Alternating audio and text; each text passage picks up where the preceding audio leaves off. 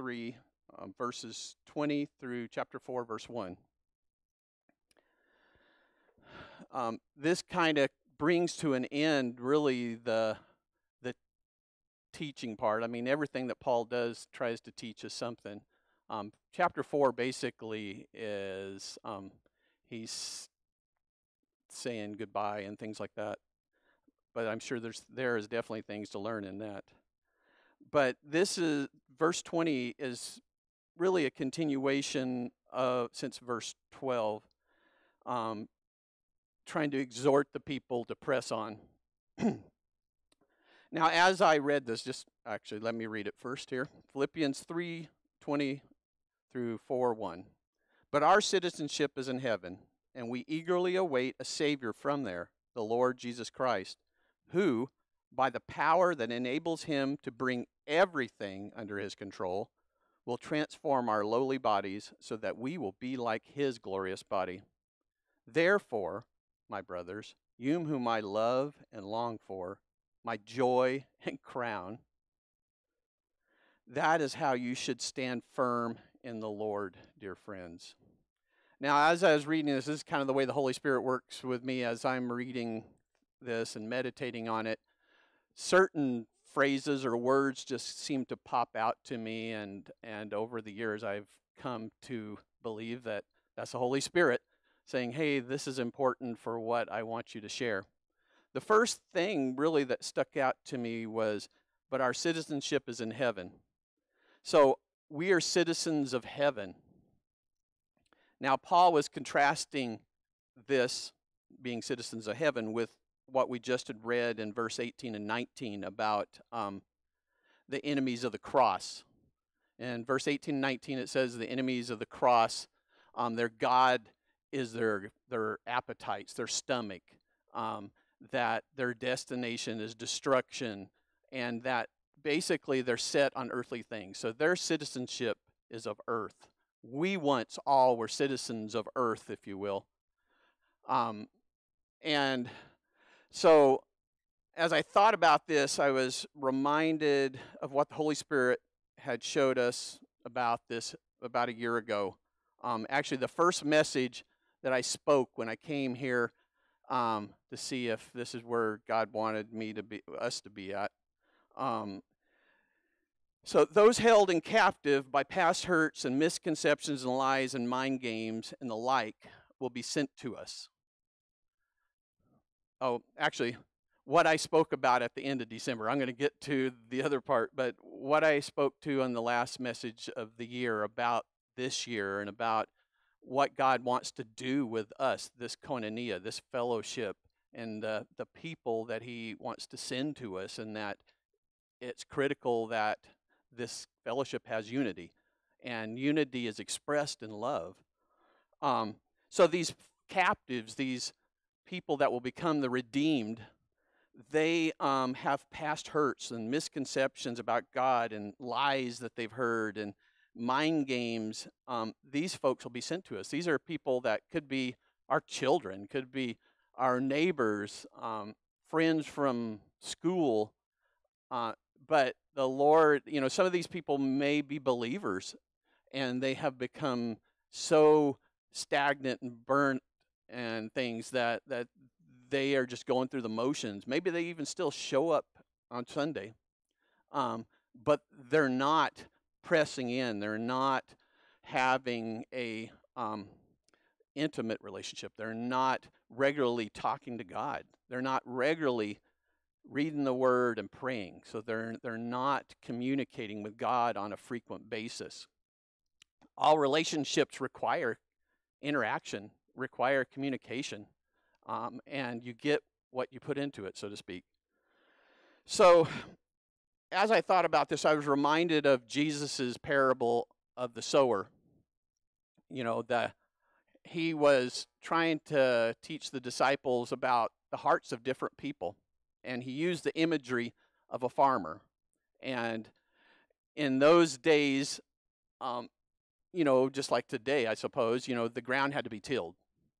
But in most of the land, there were these thorn bushes that were they weren't I don't know if they had. I don't think they had any fruit on them, but they were kind of like blackberries in that they just grow wild and get all tangled up, or or like ivy, which is not a thorn bush, but I it had that same like like a disease almost. Man, it would just like take over the land, and and so when they would get a field ready, they had to to um, tear out all of these thorn bushes, and sometimes they had to just set it on fire. The whole field had to be set on fire to get rid of these things, and then they would dig out the rocks as they were tilling it so that the soil was ready to receive the seed. But, you know, to get to the field, there was a path. And that path, um, people walked on it constantly. And so it was very pressed down and hard. Um, you know, probably when it rained, the water just kind of rolled off of it. And um, next to the the um, this great soil was also um, these thorn bushes that hadn't been torn down, and and probably there was a pile of rocks somewhere where they had taken it out. And so he's giving this image of this where you've got the farmer and he's got his bag of seeds. Uh, the ground has been tilled, and he's out there doing what they call broadcasting. He's like throwing the seed out as he's taking it out of the bag, and some of it falls over onto the path, and some of it falls into the thorn bush area, and some of it falls into the rocks, and some of it so falls into the good soil. And he talks about how, you know, the stuff that falls on the path, um, the nothing really happens to it. You know, it probably uh, bounces off of the path, or it, eh, while it's laying there, somebody comes and steps by and it gets on the bottom of their sandal, um, or a bird sees it and flies down and grabs it up and eats it. You know, and then you have the um, the seeds that had fallen into the rocky area. Now, the soil underneath the rocks, um, you know, is a little bit softer than that of the um, the path, and so the seed's able to take some root. But because of the rocks, it doesn't get enough nourishment. The, enough water doesn't get on it and stuff, and it ends up after it sprouts just dying. And then the last one was the thorns, and and basically the seed had to compete with all the roots of the thorn you know so you know and and so the disciples said you know what's what's this about? I know it's about more than just going out and farming. Um, i think everybody knows those things and so he said that these are all the hearts of people. The soil are their hearts their their um, willingness to trust in god. And so the the hard heart or the one that's on the path, it says that they hear the word. So, and generally the word here in, in Greek means to um, not just that it goes in one ear and out the other, but you actually think about it. So they're hungry, but they're not ready. They're not ready, the, and and so they dismiss the word. They they listen to it maybe because you're their friend or um, they trust you for other things, and so they listen to it and actually think about it, but their heart's not in a place where they're able to have faith in it. They can't imagine that there could be a God that loves me so much that He'd die for me and um, redeem me and forgive me and so forth. Um, and so, you know, they they're jaded and they don't trust and they expect to be let down. And unfortunately, because of that, their hope is in themselves and they know that they'll let themselves down. And so they don't have a whole lot of hope. They're they're you know pitiful sort of. I mean, certainly from our perspective. Um, and so they're not ready. The next heart, the shallow heart, or the the heart that um, is troubled, that's the one with the um, the rocks. They are believers. They have not only heard the word, but they've been born again. But because they're not pursuing God, they they're stagnant. They're they're um, they're not being equipped for trials because they're not on a regular basis communicating with God. They're not reading God's word every day. They're not, so they're not hearing. They're not going and saying, "Hey, Dad, what do you have to say for today?" Um, and they're not talking to him on a frequent basis. They're probably, most of the time, they're doing that is when troubles happen in their lives. So th- they're not equipped for these trials. The trials overwhelm them. The things that happen in life overwhelm them because they are not connected to God. They, they don't find their hope in God and they don't have the trust because they haven't. Trust comes with relationship, with time, with seeing that the person is trustworthy. So they're not fully pursuing God. They're not equipped for trials. They trust very little, so they have very little faith, and they're easily disappointed.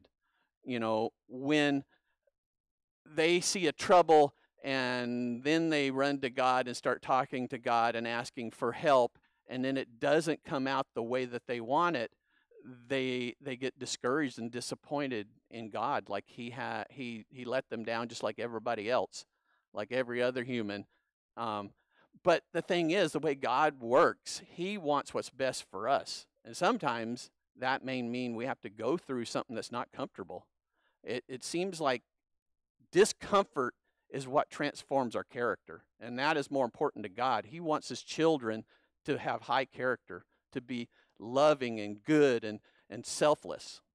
And sometimes we have to go through some hardship for that to be purged out of us. You know, Paul said in Romans that if you're to be transformed, that's the word metamorphosis, then you have to renew your mind. You have to change the way that you think. If you're doing it on an infrequent basis, it's just not going to happen.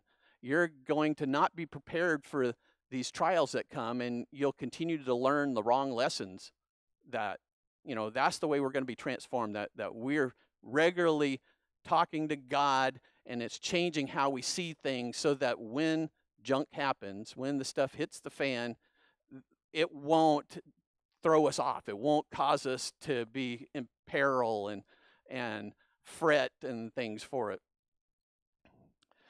So then the the thorny heart or the the thorn bush heart these folks are double minded, they are stagnant. So they have been born again and um, they have sprouted up and they um, something has happened in their life and the worries of this life that's the the roots of the thorn bush the, these worries of their life have taken them off guard and they have become stagnant meaning that that they suddenly have stopped pursuing god they they have diminished from reading his word and praying. And so their relationship has backed off and they don't want to get hurt and and so they they they don't connect. They stop connecting to the body of Christ. Um, maybe they stop coming to church or they come to the church and they sit in the back and there's nothing wrong with sitting in the back but they sit there their reasoning for sitting in the back is because they don't want to have anybody say anything to them and they like they come in, sit there, and then leave before anybody can um, say hello to them or anything because they don't want anything to come to light. They don't want to be changed. They at that point, and maybe they don't realize that first and foremost in their mind, but they're not wanting to change. They they feel comfortable. Hey, where I am at in this stagnant, stinky place that's not moving on. Um, I'm not getting hurt. I've protected myself. And so the they have to be changed. And these are the various folks that God's going to be sending in here. I think more so probably some of the the thorn bush people are going to be coming in. People that formerly maybe they were just fully connected with God and pursuing him and something just really tripped them up. Maybe they sinned or maybe some really cruddy thing happened in their life, you know, like maybe somebody divorced them or or maybe a, a child passed away in their life, you know, it's something traumatic that has just just set them back. Um, and because of that, and because of maybe being mad at God and so forth, they have stopped talking to Him. They're giving Him the cold shoulder. And unfortunately, that causes us to be stagnant. So the thing is, though, what the Lord wants us to do by being in unity and loving one another as people come here or we meet them on the street, we need to love them regardless of even when they snap at you and stuff, we need to be patient and kind with them. That's what the Apostle Paul said in 1 Corinthians 13 when he was defining love. He said that love is patient and it is kind. All those other things, not keeping a record of wrong and so forth, all have to do with being patient and kind. You know, when somebody does you wrong, if you like, okay, check, you know, check, oh, three strikes, you're out of here type of thing, um, that's not being patient with them and it's not being kind with them. And, and it's something that we have to intentionally do. Um, we have to keep that mindset because things come up. I mean, one thing, we have this body and we could be in pain. Um, somebody could cut us off on the highway and it's 115 or blood sugar drops or whatever. And if we don't crucify our flesh, Paul says, with our passions and desires, then um, we're going to not do the right thing. We will not love. You know, we can change our mind the way we think, but then we've got this body that we have to crucify. We have to just subjugate it. We have to say no to it. There's no transforming that. It won't be transformed until we're dead or the or Jesus comes back and takes us away. When we get this glorious body then we won't have to crucify it. It'll be changed, it'll be different. But while we're stuck in it, so to speak, it is our biggest, weakest link that the enemy is going to to pull us in with. And so we have to intentionally um, watch it and be alert. And the Holy Spirit will help you with that. He'll alert you when um, maybe you're getting impatient with something or someone. Um, he will alert you and say, hey, you better um, cool out here or you're going to do stuff that will not be like I would do it, type of thing. So these folks are going to come and we need to be able to be patient and kind with them. So, another thing that stood out to me really about that same phrase, our citizenship is in heaven, the word in implies we're not home. This place is not home. The world is not our homeland. That means we're aliens. We are residents in a foreign country and a foreign culture. Now, we came from that culture, and that's probably one gauge that you can look at. Um, if you still um, are part of that culture, if you still think the same way, then you know you've got some ways to go. Um, but our citizenship is in heaven, meaning that that we're not in the country where our citizenship is at. It'd be like um, being a citizen in the United States, but you're over in France um, or the or Israel or someplace like that. We are not in our homeland. Now, the writer of Hebrews in chapter 11, when he starts talking about all the heroes of the faith, um, after he had said all these things that they did, he said that he said that those who lived by faith understood they were aliens and strangers on earth. And it says that they were longing for a better country, a heavenly one. So we need to recognize that we're part of something different, that we are set apart. That's really what the, the word holiness, that's what it means to be set apart we are not our own. And, um, I think it's in Peter. Um, it says that not only are we citizens of heaven, but we're members of God's household. So we're part of his family. We are part of his family. We are sons and daughters of God. And he he's a father that does not want any spoiled children. So that means we're going to go through some discipline you know, spanking of sorts that um, will say, hey, wait a minute, brother, that was not too kind. That was not very patient of you. Um, and we'll reap something. Um, and that will teach us, that will train us that that's not the way to go. So,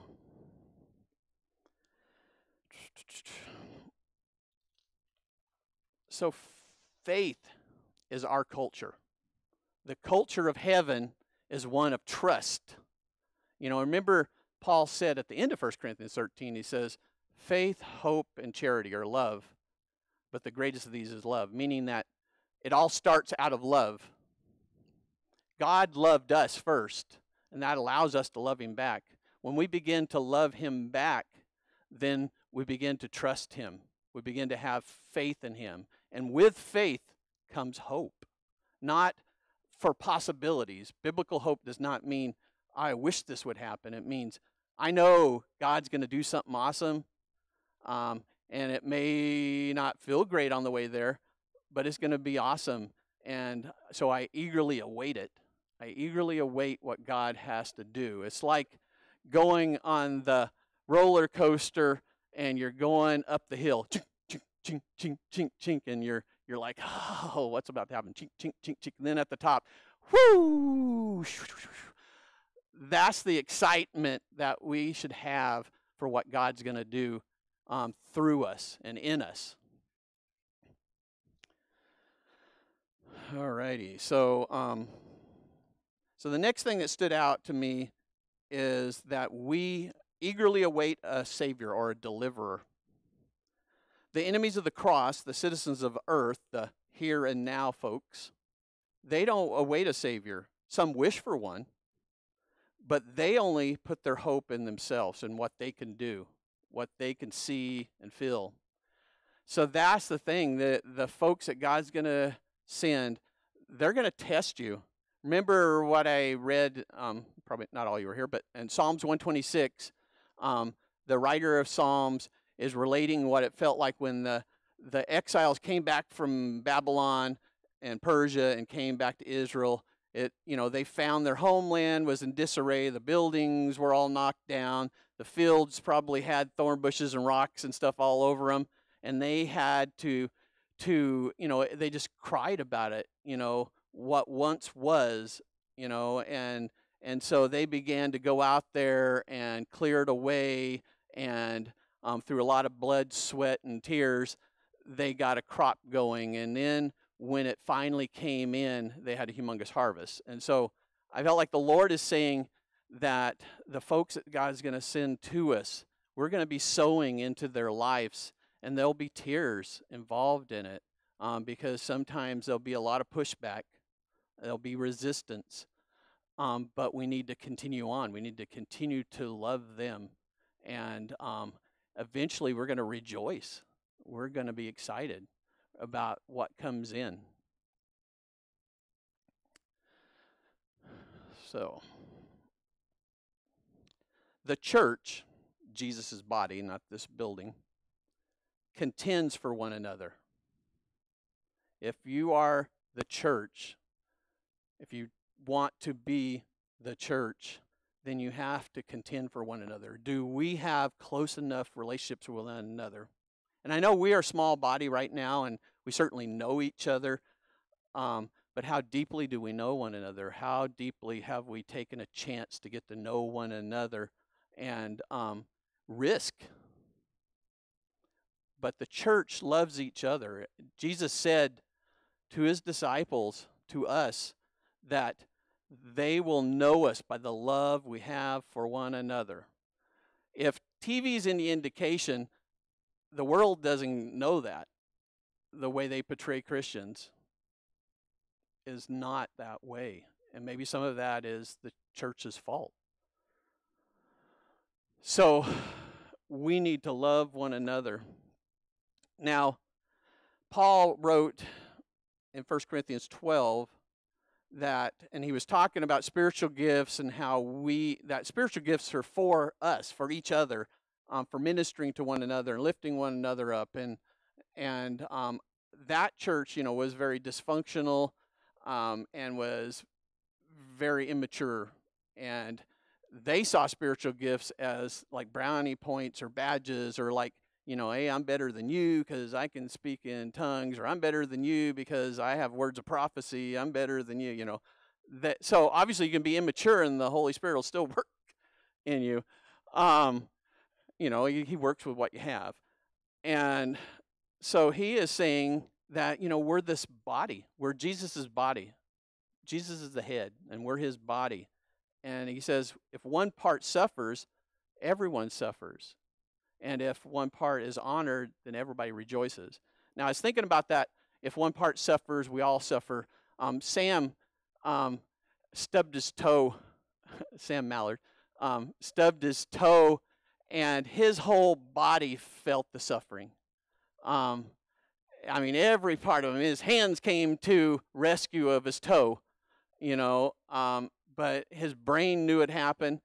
Do we? Do we know each other well enough that when we're suffering, that we suffer as well, that, that we have anguish and and you know when James talked about the the effectual fervent prayer of a righteous man avails much, I believe when we truly know for know each other and love each other, then our prayers, our intercession, we want to contend for one another.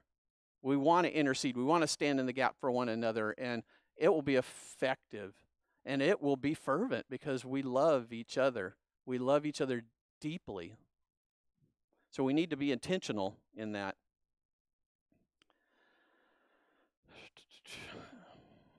Everyone hungers to be known affirmed, embraced, honored, remembered by those loved. And I think that's part of us being made in the image of God. That ability um, to do that for others and to want it is part of being made in the image of God. But sometimes, of course, we put other people as gods, and we, you know, really our motivation is probably ourselves. We do nice things to somebody because we want them to do nice things to us. We want to be loved by them and so forth. Um, our motivation should be that I want the good for this other, regardless of whether they ever reciprocate it. Um, but because we have that hunger in us, and these folks will have that, um, and maybe they've squashed it down, but in our love for them, we will help them become the redeemed and no longer the captives the captives as they come, our love will be a catalyst for the Holy Spirit to break the bonds, to give sight of the blind, and to heal the brokenhearted. So the Holy Spirit works through us. When we have relationships with people and basically we become endeared to them, it becomes a catalyst. It, it helps their heart open up and allow the Holy Spirit to speak to them through us sometimes, you know, and really most of the time it begins with just our actions, how we conduct our life, and that they know that we care about them and we want the best for them. All right, so the next, um, and I think is verse 21. The Lord Jesus, next, our Lord Jesus, his power enables him to bring everything under his control. So this power is effective. It's all that is needed, and he's fully able to bring everything into submission. Remember, Jesus was given all authority in heaven and earth. He has also the power to accomplish it. He has called us, the one who has all authority and power to bring everything into submission. He has called us. Our English word authority is derived from the word author. Jesus is the author and perfecter of our faith. Trust is integral. If we don't trust God, then we don't have hope in Him. We must trust Him despite the circumstances we see ourselves in. We can't believe that He's let us down. We must fight that. You know, the thing is, at least my experience, when I'm in the midst of those things, you know, it may be painful and troubling, but later on, uh, because remember, the Lord says through Paul that that there's always a way out. And he doesn't mean that there's a way to get out of it. What he is saying is that it doesn't go on forever. Trials and testings have a period of time that the Lord has set for us to go through for the transformative work. So we can know that He'll never put anything on us that we can't do. Um, and all of the things that he does is to to kind of hurt us towards him, to to allow us to trust him. That's what he did with the Israelites when they were sent off to exile and they were upset about what they had lost. Um, Jeremiah, the Holy Spirit through Jeremiah said, said, Hey, I'm God and I know the plans I have for you. They're to bless you. You know, and so he's telling this to people that just had their houses burnt down and their crops burnt and they're taken off into chains or whatever to another country. He's saying, I know the plans I have for you. And then he explains, he says, You know, when this time is over, your hearts will be changed and you'll be able to trust me. You'll be able to trust that I have your back and that all the things I do in the end will work out for you. All things work to the good of those who love the Lord and are called according to his purpose. He has a purpose for everybody. You are all called for a purpose. But there's something on us. We have to love him.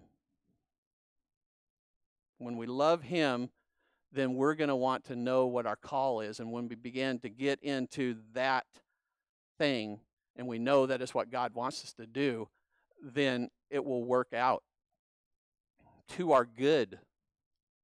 To our good. So, lastly, in verse 1 of chapter 4, the phrase, well, it starts off, therefore, brothers, but that is how you should stand firm.